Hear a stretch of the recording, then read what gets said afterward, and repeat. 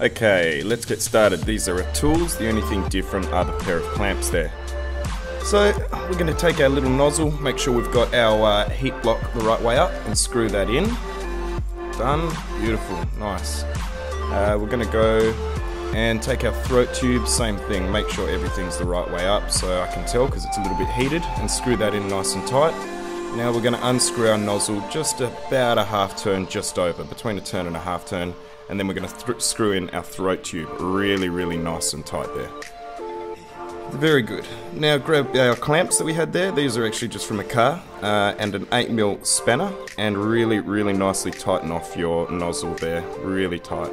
Um, don't break anything, don't go too crazy. Screw on your nut, ready to go, and thread that into the bottom of your extruder carriage. Um, I've got my extruder body in there, I've just pulled it out now so I can see what I'm doing and make sure you thread it all the way through so you can see it popping up through the top of your uh, of the extruder body there.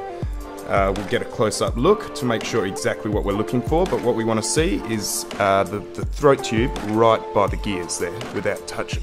Can't touch, but close. Now tighten everything off. Um, we're using the, the little mini spanner that came with the kit there, but you can use a better one if you want to. Now, the heater. We're going to put the heater element right through this big hole and then down to the bottom left 45 degrees ish there's a little tiny hole for the thermistor. Not this big one up here not that one. Down here's the one.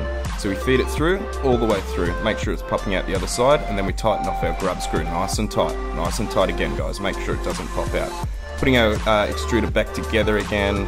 Pretty straightforward. We've all been through this uh, nice and frustrating, very frustrating this bit, very good. Uh, make sure you squeeze down, um, push the springs down, compress the springs. Now we've got our stress relief. This is very important guys, very important. Make sure you get your stress relief with all of your cables in nice and tight and really, really organised and really carefully.